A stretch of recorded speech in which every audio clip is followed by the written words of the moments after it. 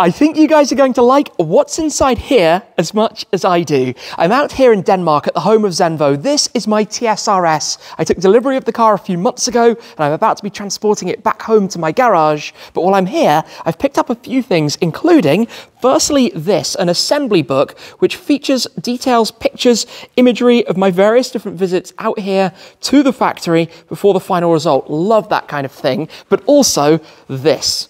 In this box is the limited edition numbered 1 to 18 scale model that is an exact replica of the actual thing in the same Lila Perlemor paint with the lime grand accents. As you can see, numbered plaque at the very front. Super awesome to have that, even with the carbon wheels, the carbon weave pattern you can see the door. This is so nice. Can't wait to have that on show at the Museum alongside the real thing.